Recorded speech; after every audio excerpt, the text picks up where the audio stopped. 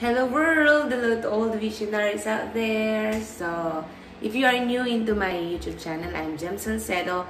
I'm helping all the G12 visionaries to have their own business online. It's all about business online. So, in today's video, pag-uusapan natin, kailangan natin magkaroon ng fuel. So, kailangan yung fuel na yon merong specific na dinutumbok ka para lalong gumana pa yung business mo. So, so that you will be succeed also or mag magkaroon ng success dun sa ginagawa mo.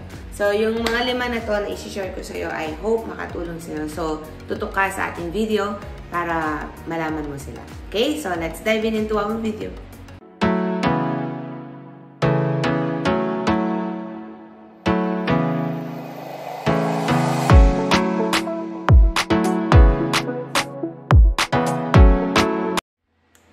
Alright, so what are those fuel na kailangan natin para tuloy-tuloy tayo at saka magkaroon ng success dun sa ating business. So, number one is to have a determination. Yan. So, ano ba yung determination? Determination means someone who's determined to do something is extremely motivated and unlikely to quit or change their mind. Someone who's determined is, in general has a very strong desire to achieve their goals, Someone who's determined in this way is said to be showing determination, the quality of being firm in one's purpose. Yan. So, kapag meron kang determination, no, kahit wala pang result, yan. So, alam nyo, sa success talaga, lalong-lalo na yung talagang pinaghirapan at talagang pinag-pray, no? Yung success talaga, hindi, hindi agad-agad nakukuha yan. Talagang pinaghihirapan yan. So, kailangan natin na kailangan mo magkaroon ng ganitong spirit of determination so that whatever na gusto mong gawin, yung i-goal mo talaga. Because you have a big picture, you know your goal, no? Kailangan meron kang determination. You will never quit, no? Even maraming nagte-turn down, maraming nag maraming nagki-criticize sa iyo, you will continually, no, gagawin mo pa rin yung ginagol mo. Kaya you have you need to have a determination. That is number one fuel that we need to have so that we can have a successful business. Yan. And then number two na kailangan natin gawin or magkaroon is to have a positive mindset. Yan. So again, di ba alam naman natin na merong kapangyarihan yung pag-apply ng blood of Jesus sa mind natin. So, let's apply the blood of Jesus in our mindset. Why? Because many times, no, na inaano pa rin sa atin ng kalaban o ng, ng dating buhay natin yung wala tayong magagawa and then laziness and then yung mga sinabing negative sa'yo. But now, you need to have a positive mindset. Why? Because Christ already gave you the solution. He already died on the cross, no? Kasi nga, tinapos na niya lahat. So, we need to be positive. Yan, positive ka lang. Ano yung mga nangyayari sa paligid mo? It's only a situation that can give you a lesson, no? Learning and lesson sa mga situation na meron ka. And nakita ko talaga dun sa mga nangyayaring situation, obstacles, no? na meron tayo sa paligid natin, you can use those obstacles and situation para magkaroon ka ng mga lesson and learnings. Yan. So, alam nyo, mga example natin sa mga successful na mga business people, they learn from all the things na nangyayari sa kanila. Even the negative. But hindi nila ini-insert talaga yung mga negative thoughts. Yan. Sa mga isip nila. So, you need to have a positive mindset. You need to say that I can do this. I am a child of God. Diba? Uh, nothing is impossible with the Lord. Diba? Kaya need to have a positive mindset. Okay? So that's number two, fuel. Alright, so in number three naman, you have to always go back to your vision and mission. Yan. So ano ba yung nakakapagpalakas o nakakapagpapursige sa'yo lalo? Your vision and mission. That's why I want to have you a vision and mission behind your business. Okay, so, kunyari, wala pang nangyayari talaga sa business mo. O kaya, talagang ginawa mo na yung mga ibang steps, yung mga techniques, or yung mga naituro ko dito sa YouTube channel natin. And then, wala pa rin. No? So, alam nyo, again, babalik tayo sa number one, yung kailangan may determination ka kahit wala pang result today. Di ba? So, sabi nga, if you have a consistency, meron kang consistency sa ginagawa mo, at alam mo yung vision and mission behind your business, no, may spirit of excitement ka na darating yung panahon, makikita nila. At malalaman mo din kung ano yung dapat at yung mga exact na ginagawa mo para mas maging successful yung ginagawa mo o yung business na meron ka. So, yung vision and mission is what is the vision and what is your mission in your uh, business. Like me, I have a vision na lahat ng mga natutulungan ko, matutulungan ko mga digital people, they will uh, have their more time to their purpose, to their ministry, at the same time, time also to their loved ones, at magkaroon sila ng profitable income. Yan. So, that is my vision. And my mission is to help them and to share to them. And also, sila din, makapag-share din sila sa marami pang mga tao. They will also help other people. Okay? So, ano yung vision na yun? Nakaka-excite, di ba? So, talagang magpo-fuel sa'yo yun. Kaya, magtutuloy-tuloy ka na. Okay? So, that is number three, fuel. Okay. Number four naman na kailangan mo makita is to value your relationship. Yan. So, sa business, pag meron kang ganito, kunyari, kahapon meron, ka, meron akong live research or about study research dun sa aking Purpose Accelerator program. And then, you need to value your relationship to your audience. Yan. Kaya magpo-post ka ng mga content at gagawa ka ng video na talagang makakatulong sa iyong audience o sa iyong mga customer, target customer. So, you need to value your relationship and hindi na issue sa akin yung massive growth ng viewers or followers. If I have 50 I will help them kahit 50 pa lang sila. Uh, I will see to it na yung mga 50 na yon natutulungan ko na sila. So, you need to value your relationship. Actually, nandyan yan, na, ginawa talaga yan ni Lord sa atin.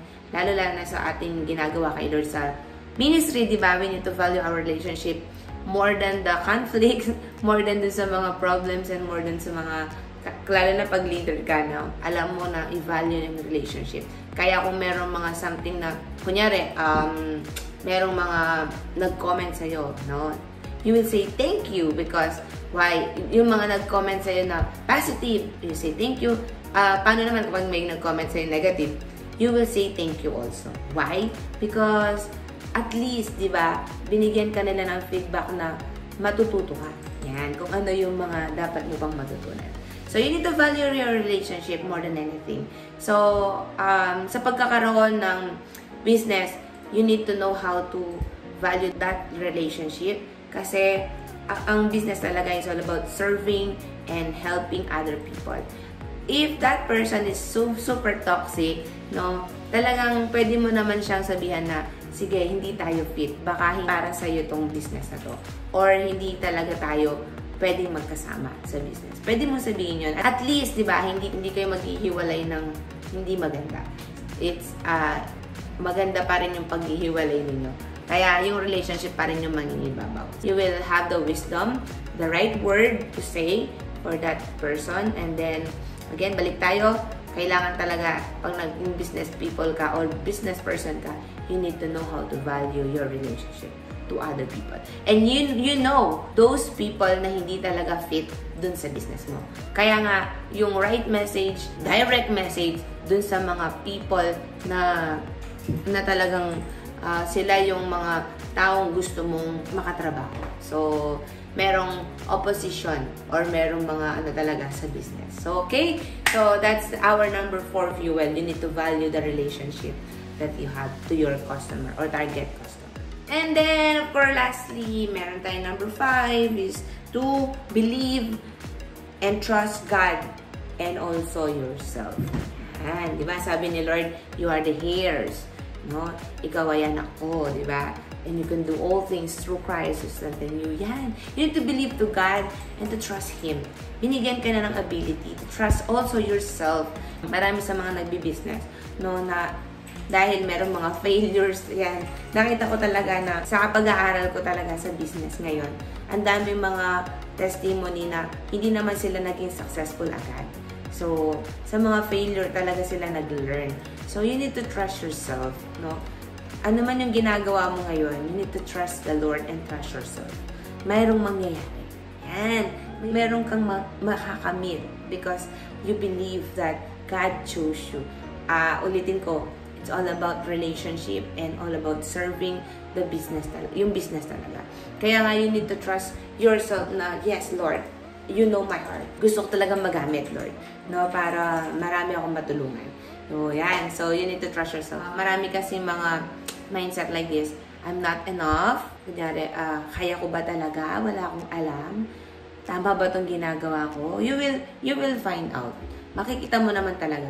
And then, as you try the things na nalalaman mo, ina-apply mo yung mga nalalaman mo, at saka yung mga gusto mong ginagawa o yung mga, parang may something sa'yo na may guts. Yan. Yung, yung mga guts mo na binigay ni Lord sa'yo, yung conviction o yung mga pwede mong gawin, gawin mo. Yan. Try mo. No? At sabi niya, huwag kang matakot makamali. No? Huwag kang matakot magkamali. Tuloy-tuloy mo lang. Yan. So, that's our uh, five fuel na pwedeng magpa-boost sa'yo or magpalakas pa sa'yo sa yung business ngayon. Kasi kailangan mo talaga to. Kasi, pag wala yung five step na to, nakita ko ako, personally, tiningnan ko yung sarili ko, wala akong determination, baka nag-quit na ako. And then, kapag hindi ko tinama yung mindset ko at negative lahat yung mindset ko, baka wala na akong gawin. di ba? Baka sabihin ko sa sarili ko, stop na. Di ba? And then number three, I always go back to my vision and mission. Bakit ko to ginagawa? Bakit ko to gustong gawin? Yan. And then, I value every relationship. Kaya lahat ng mga uh, nakakapag-comment and nakakapanood sa akin, even though maliliit pa lang yung mga viewers ko, especially sa YouTube channel, I want to value my relationship to you. Yan, lalo lang na ikaw na viewers. No? I want to help you even in my free content. Yan. So, and then number five, I need to believe that God has a promise to me and I, I need to believe to myself because I am a child of God. So, I hope itong video na to nakatulong sa'yo and alam mo, malaking part talaga itong ganitong mga mga words na to na na-share ko sa'yo to have a successful career or business, no? Ano man yung gusto mo. Kasi nga, nauuna talaga sa sarili mo. So, again, if you want to know more about the business online, you can subscribe into my YouTube channel. It's all about business online. So, I have also a program which is Purpose Accelerator Program na makakatulong sa'yo para magkaroon ng sarili mong business online kasi that's my mission to have a free time, more time for the vision and for the family at the same time you are earning profitable income. Yan. So, again, if you want to learn that, you can DM, mention me, and also um, message me uh, if you want to know more about this. Okay, so don't forget to subscribe. Bye. God bless.